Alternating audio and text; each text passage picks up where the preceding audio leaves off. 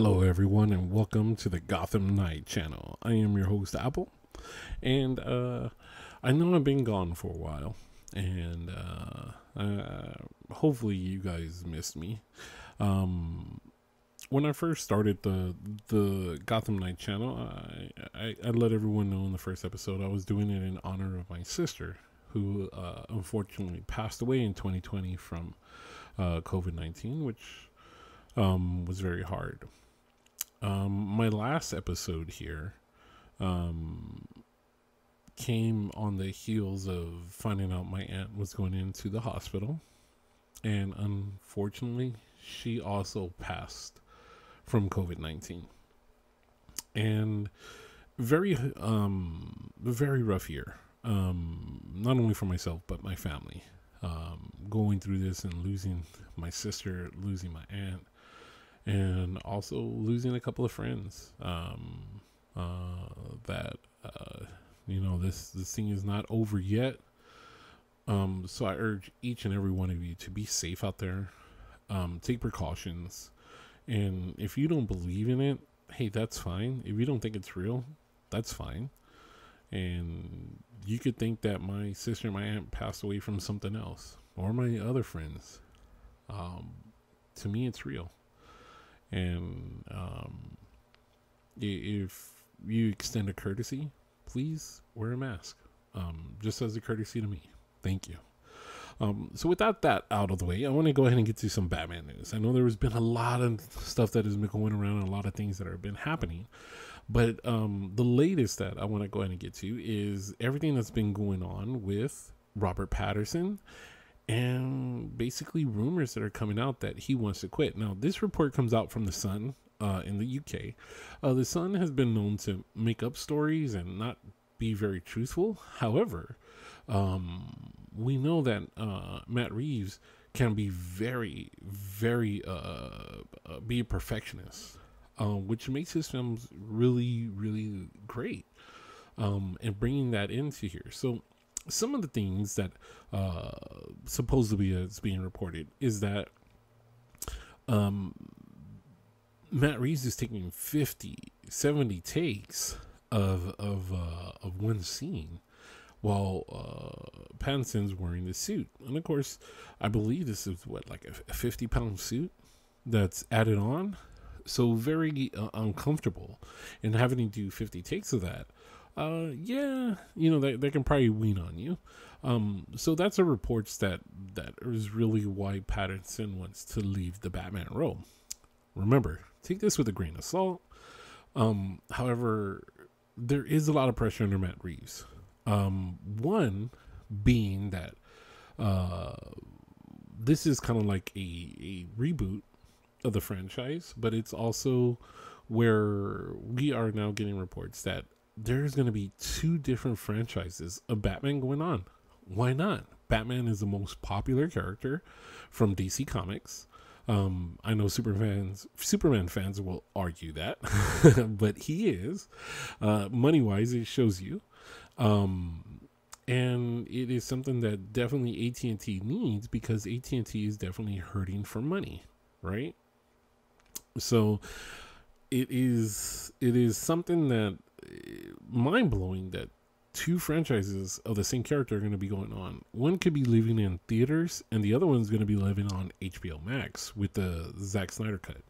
Now, supposedly, the way that this is going to hit off is that uh, in Flash's, um, the Flash movie in Flashpoint, what's going to happen is that Michael Keaton is going to come back, and he's of course going to be uh, kind of like the mentor to to I believe Ezra Miller is still coming back in that role.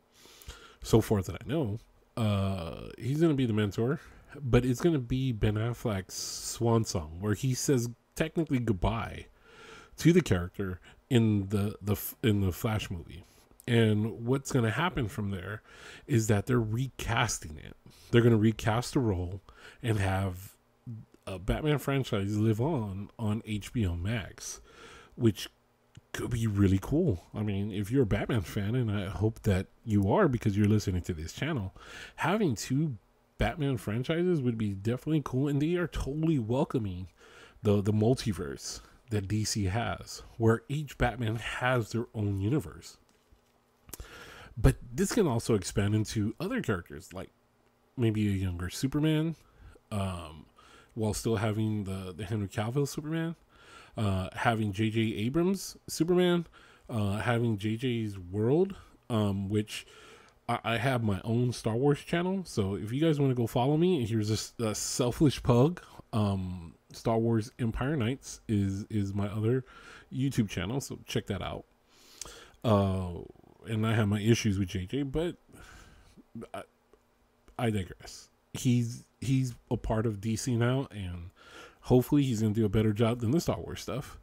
But while having those two uh, worlds going on, um, I think it could be very beneficial for AT and T, um, money and profit wise. Why? Because the the world that Matt Reeves creates, which will spawn off a TV show on HBO Max, could be very very uh, in depth, and you have young uh, actors right now who can carry that role for a long time. Um, of course, uh, Ben, who's of course you know getting up there in age and having to wear a suit like that, uh, you know.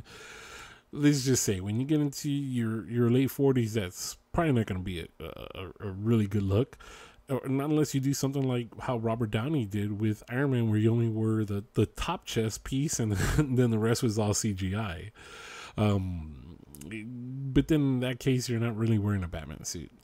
So this is something that is is going around, and I hope it really does happen because it does look like it's going to happen where we're going to have two universes one with uh, Robert Pattinson's Batman and the Batman that they recast for uh, Ben Affleck's Batman, which is really great.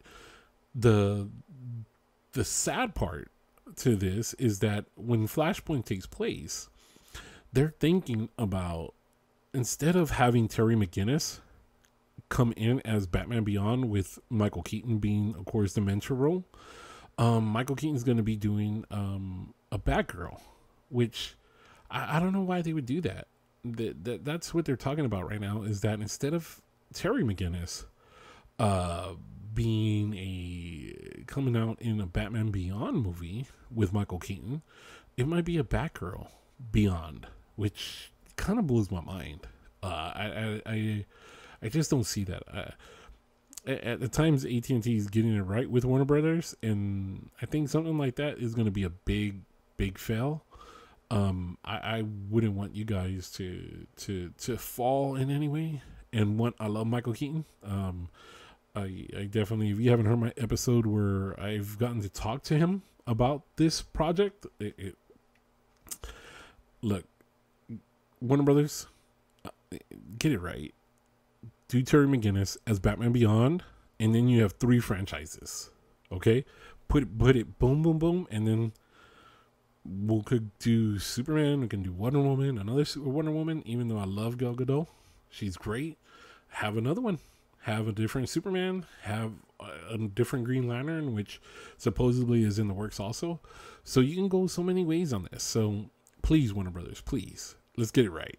All right, guys. So um, I'm glad to be back. Um, getting get you guys, of course, caught up, and of course, um, of course, follow me here on the the Gotham Knight channel, or if you're a Star Wars fan, follow me at the Star Wars Empire Knights, and we'll talk to you later. Goodbye.